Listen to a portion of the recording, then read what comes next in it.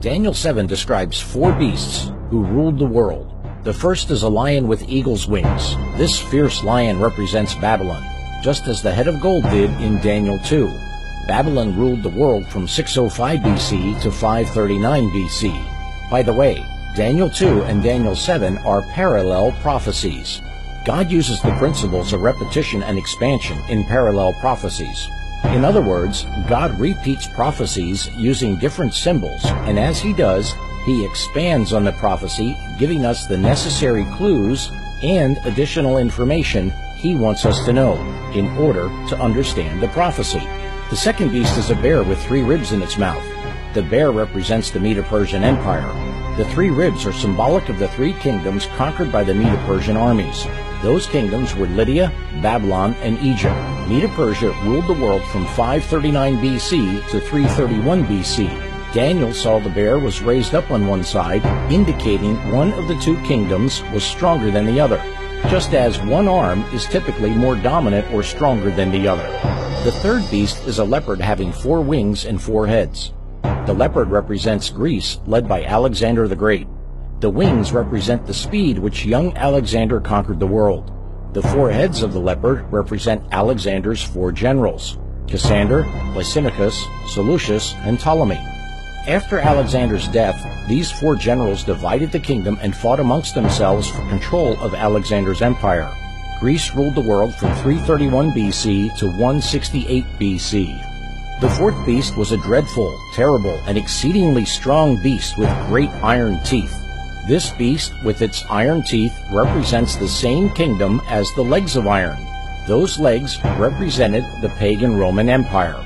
Then Daniel focuses on the ten horns of this beast, and coming up among them is another little horn, who destroys three of the first horns as if they were plucked out by the roots. Daniel says, In this horn were the eyes like the eyes of a man, and a mouth speaking great things. In our last program, we learned the ten toes of Daniel 2 were the ten barbaric nations which brought about the destruction of pagan Rome. Those toes are the same as the ten horns on the fourth beast of Daniel 7. History identifies these ten barbaric tribes as the Visigoths, Franks, Suevi, Alemanni, Anglo-Saxons, Lombards, Burgundians, Heruli, Vandals, and the Ostrogoths. History tells us these last three, the Heruli, Vandals, and Ostrogoths, were destroyed through the influence of the little horn as it came into power. Here's where it gets interesting.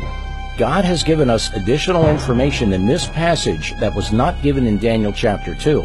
Here God reveals the little horn power coming up among the ten horns. The little horn of Daniel 7 is the most powerful enemy of God's truth and of God's people on earth today. It's very important to understand who this little horn is, and we'll do so by examining the identifying marks given to us by God himself. When you understand Daniel, you'll be able to understand the book of Revelation, because Daniel is the key which unlocks the secrets of Revelation.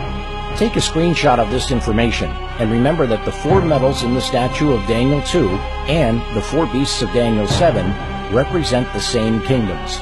The ten toes of Daniel 2 and the ten horns of Daniel 7 represent the kingdoms that remained after Rome's fall. Please also remember the little horn of Daniel 7 comes up after the ten horns. Then the little horn plucks up or destroys three of those ten kingdoms.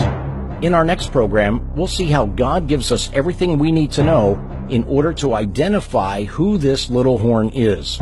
May God bless you and your loved ones as you seek to understand God's great prophetic messages, preparing you and your family for the coming events which are soon to take place on planet Earth.